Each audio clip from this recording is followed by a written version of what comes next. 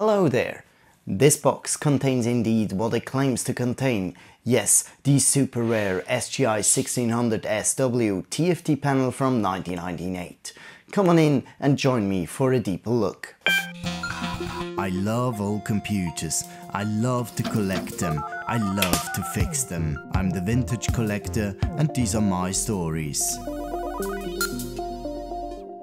This episode is sponsored by PCBWay.com, your source for CNC machining, 3D printing, PCBs and more. In the mid to late 90s, the PC market was still widely dominated by those bulky heavyweight CRT displays. Of course, flat panel displays were nothing new, as we've been seeing LCD flat panels using TN, STN, DSTN and other technologies since the 80s, although early precursor technologies were around since the 50s already. Also Apple featured an LCD panel in their 20th anniversary Mac in 1997, but SGI was definitely running ahead with the 17.3 inch 1600 SW flat panel display featuring a then uncommon 25 to 16 aspect ratio at a 1600 by 1024 pixels resolution. With a stunning 110 dots per inch, the dot pitch was way ahead of competing products for the time, and even the initial asking price of roughly 2,500 US dollars made it really an attractive package. With only some 54,000 units ever produced, the 1600 SW display is a highly sought after device and a rare get on eBay, but I was really lucky to find one in Germany, including the original packaging. And the box itself is still in a very nice condition, if I'm ignoring the fact that it accumulated various delivery stickers over the years.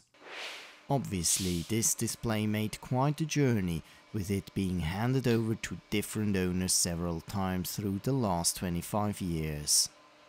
There are so many layers of transportation labels and duct tape which I'm gently removing with the help of a heat gun. Here's eventually another transportation label revealing itself after removing two more layers atop. I had to work very carefully in order to not destroy the original SGI labeled duct tape as I really want to keep this one intact. It's a tedious task and it took me some 2 hours to get rid of all superfluous labels and duct tape to get the box back into more or less the original condition, lest some scuffs and marks here and there. But eventually comes the moment of truth to open the box. There's already a smaller box on the top which contains some accessories and even the delivery slip to complain about dead on arrivals. So here we have a power supply and many different display cables for DVI, VGA and the SGI's Open LDI digital video connector. The box also contains the multi-link adapter, which does what the name implies, allowing you to connect the 1600SW to different connector standards. This one is especially important if you plan to connect the 1600SW to an ordinary DVI or VGA interface, as without a multi-link adapter this weren't possible as the display itself features only a proprietary connector. Along with the box came this bill stating the buying price of 1185 euros in 2002. And guess I just paid some 250 euros for both the display and the multi-link adapter, which was really a bargain. So I think it's about time to take the monitor out of the packaging. The styrofoam wrapping comes with this lifting handle to pull the entire thing out. I'm really excited to unwrap it and connecting it to the SGI-O2.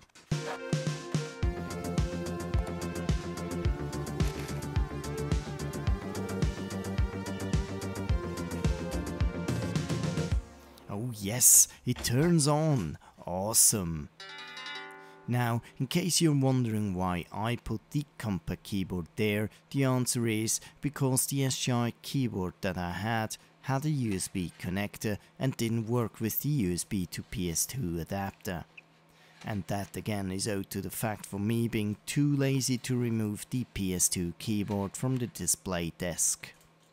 Anyways, it's working and allows me to not only boot into the PROM but also into IRIX. The display is currently connected to the multi-link adapter using the VGA cable. It works, but it has the drawback of not fully supporting the 1600 by 1024 pixels display resolution. The SGI O2 addresses the display via the default 1280 by 1024, so the entire image appears stretched. You can actually switch the 1600 SW display between scaled and native mode, which would result in having bars left and right when running on a 1280 by 1024 resolution. The official way to use the 1600 SW at max resolution is to use the O2 digital interface adapter, which I'll cover in a moment. And this is where my episode sponsor for today, PCBWay, comes into play. PCBWay offers a wide range of services around CNC machining, PCB production, including full assembly services and 3D printing on over a dozen of prototyping materials. When joining PCBWay first time, you'll benefit from a one-time $5 welcome voucher. Use the link in the video description below to join up with PCBWay. There's also an unofficial way which involves some configurative changes on IRIX to force the 1600 by 1024 through the onboard VGA graphics adapter. But this runs the graphics board on the edge of its capabilities and is not really recommended. I didn't bother to try this myself as I don't want to screw this precious machine with weird experiments. Instead, I'm about to install this O2 digital interface daughterboard. Originally, I didn't have it in this machine and it didn't come with the display either. So I had to organize it first. Luckily, I found one for a still affordable price at Mashek.com and Doug of Mashek Systems was more than helpful to me. In order to use the O2 digital interface, the system must run at least IRIX 6.5.2. And if you remember my previous video about how I acquired this O2 workstation, I did only the install of IRIX 6.5.0 base OS to this point. Going through the entire IRIX upgrade procedure goes too far for this video, so I'll be covering that in this separate follow-up video.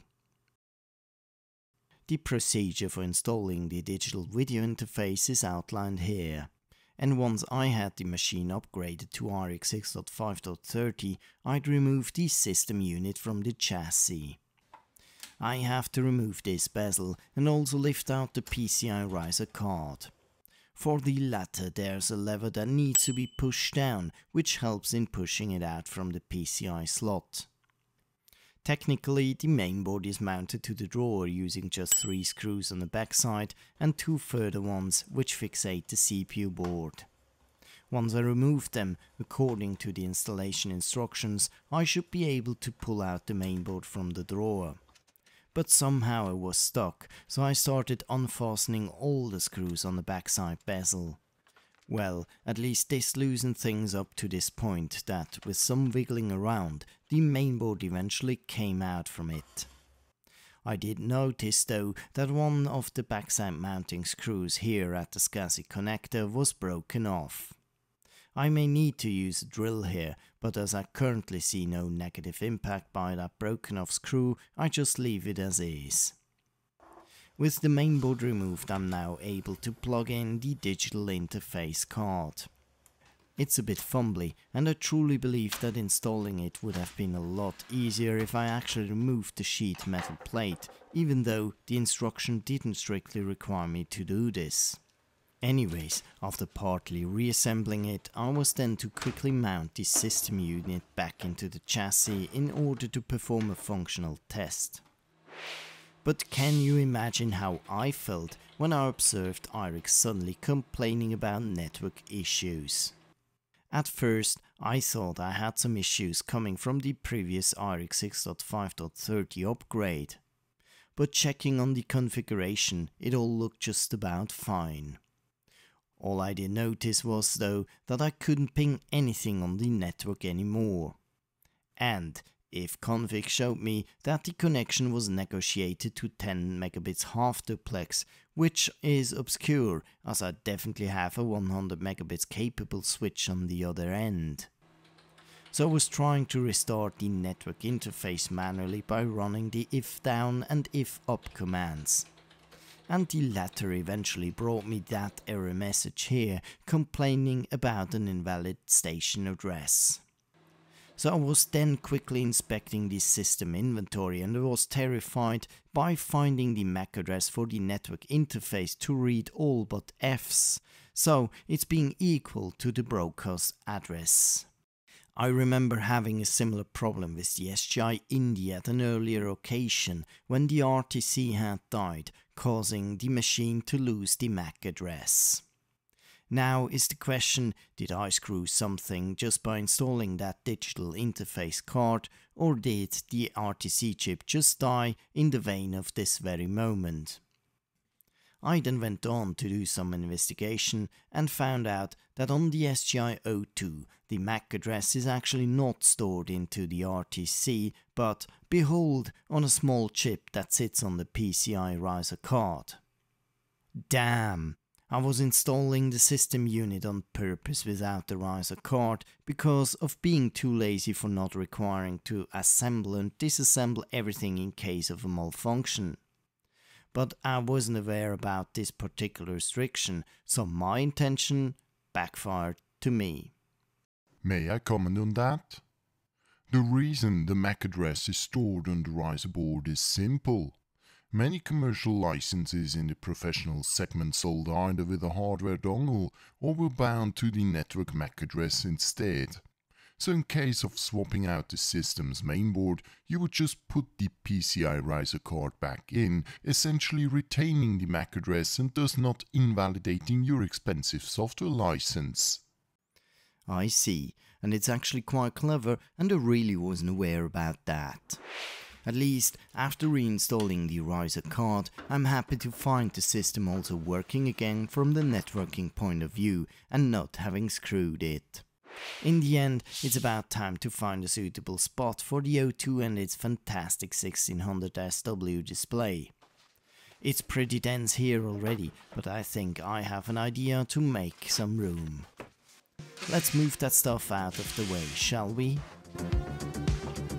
Ah, I bet I shouldn't have done so. Once I started moving things around, I found this. Mice poop? How disgusting. Well, we do have two cats, and they can come in freely as they wish, and yes, sometimes they bring their prey along and let it run loose. It is what it is. And then I had that picture hanging on the wall previously, and I had to make some room for the shelf. Still, I need to cover up the hole. It doesn't look too nice at the moment yet, but eventually, once dried, I can brush it up so it won't be visible anymore.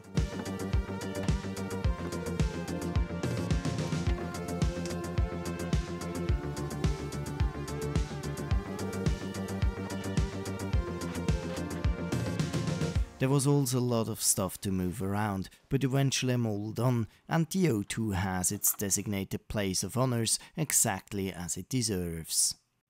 Oh, and it comes up. Awesome! And the system manager also shows the presence of the digital interface. So let's see if it is any good to play around with Quake 2. Ah, well, that's not exactly how I envisioned it. It's laggy as hell. Guess after all, I now have uncovered yet another topic to follow up. Now, you see me smiling, don't you? If it weren't for George, I wouldn't have the SGI-O2, but who could have guessed that I'll find the matching flat panel display that quickly? Or would you have gone with one of these bulky 19-inch CRTs instead? Let me know in the comments below. I'm the Phintage Collector and this was my story for today. Next video is due Sunday in a week.